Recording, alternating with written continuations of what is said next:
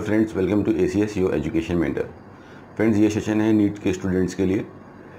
Dear NEET students आपका पाँच मई को एग्ज़ाम है और होपफुली आप सभी लोगों ने अपने एडमिट कार्ड अभी तक डाउनलोड कर लिए होंगे और अपने एग्ज़ामिनेशन सेंटर और बाकी सब चीज़ें उसमें चेक कर लिया होगा और उसमें रिलेवेंट अपने पेरेंट्स से सिग्नेचर भी करा दिया होगा.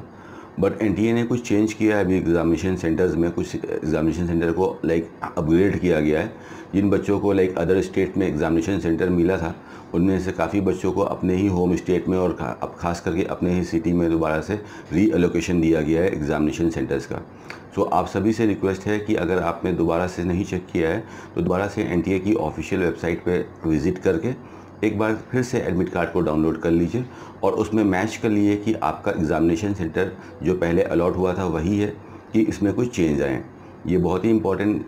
चीज़ है स्टूडेंट्स अगर आपने इसको नहीं किया है तो दोबारा से एक बार प्लीज़ अपना एडमिट कार्ड को डाउनलोड कर लीजिए और अपना एग्ज़ामिनेशन सेंटर उसमें चेक कर लीजिए कि जो आपको पहले एग्ज़ामिनेशन सेंटर अलॉट हुआ था, क्या वो वही है कि दोबारा से चेंज हो गया है। इन केस काफ़ी कुछ बच्चों का चेंज हुआ है तो अगर आपका दोबारा से एग्ज़ामिनेशन सेंटर चेंज होके आता है तो दोबारा वाला जो आपका एग्ज़ामिनेशन सेंटर आया है, जो नया एग्ज़ामिनेशन सेंटर आया है that is going to be your final examination centre आपको पाँच तारीख को दो बजे से वहीं पे अपना एग्ज़ाम को देना है।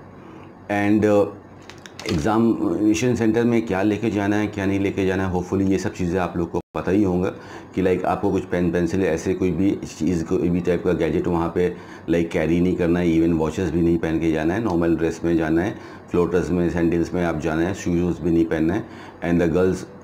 in the burqas और या the boys in the turbans आप लोग को थोड़ा जल्दी पहुँचना है वहाँ पर करीबन साढ़े बारह बजे तक पहुँच जाना है, कि आपका जो स्कैनिंग प्रोसेस होता है, वो थोड़ा सा इतमान से हो जाए और आप लोग को प्रॉब्लम ना हो। और जो ऐसा आपका एग्जामिनेशन सेंटर की आपके लोकेशन से जो डिस्टेंस है उस चीज़ को देखते हुए ट्रैफ़िक ट्रैफ़िक को देखते हुए आप लोग थोड़ा पहले ही निकल लिएगा तो आप लोग के लिए कन्वीनियंट होगा your journey so friend this video में इतना ही स्पेशल था कि एक बार दोबारा से अपने एडमिट कार्ड को निकाल के चेक कर लीजिए कि आपका एग्जामिनेशन सेंटर वही है कि चेंज हो गया. है